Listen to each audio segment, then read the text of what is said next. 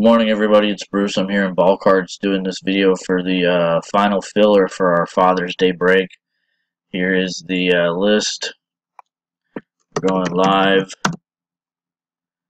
Facebook says 10 a.m., 10 a.m., 10 a.m.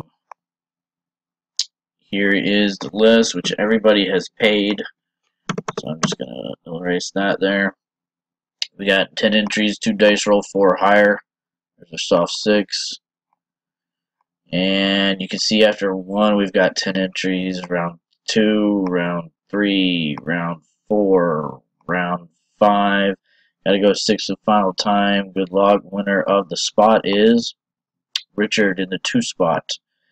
Uh, six out of six times, 10 entries, timestamp verification code. We will go done. Still 10 a.m., 10 a.m., 10 a.m. Thanks, everybody.